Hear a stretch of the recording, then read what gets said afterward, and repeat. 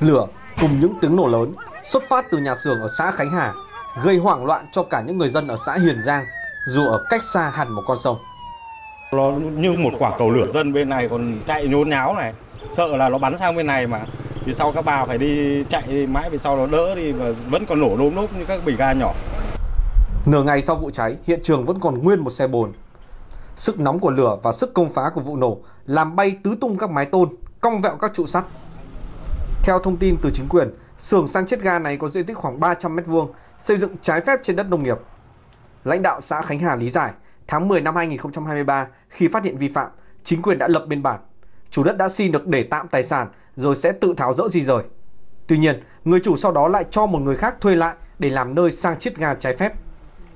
Cái xưởng này là nó mới, nó khuất ở cái khu vực ờ, Nghĩa Trang, thế là địa phương cũng chưa kịp thời nắm bắt được. Cái này thì đúng là địa phương cũng sơ suất không không nắm được, chúng tôi cũng sẽ hứa là sẽ hoàn thiện tất hồ sơ sẽ xử lý dứt điểm. Thế nhưng không chỉ xưởng ga, địa bàn xã Khánh Hà vẫn còn có các nhà xưởng trái phép khác. Ngay gần với xưởng ga bị cháy là một dãy nhà xưởng khác rộng đến hàng nghìn mét vuông mà theo người dân địa phương cho biết thì đây cũng là xây dựng trái phép trên đất nông nghiệp. Mà đã là trái phép rồi thì đương nhiên các điều kiện về phòng cháy chữa cháy chắc chắn sẽ khó có thể đảm bảo. Đây là một khu vực gồm nhiều nhà xưởng với hoạt động tái chế nhựa.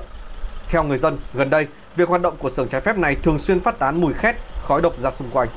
mùi nó khét mà nó mùi đúng như mùi thuốc sâu luôn các cái rác rưởi cái rác thải người ta đốt nếu nó nó khói thẳng thì nó như khói bom thế còn nó mà gió tạt sang bên này thì cả cái làng này mù mịt hết phải cho các cháu đi sơ tán Lãnh đạo huyện Thường Tín cho biết trong khoảng một năm qua, huyện đã thành lập ban chỉ đạo xử lý dứt điểm được hơn 400 trường hợp vi phạm trong quản lý sử dụng đất đai, trật tự xây dựng. Còn lại 173 trường hợp đang đợi tiếp tục xử lý. Tuy nhiên, riêng xã Khánh Hà chỉ trong vài tháng đầu năm nay vẫn phát sinh 38 trường hợp vi phạm mới.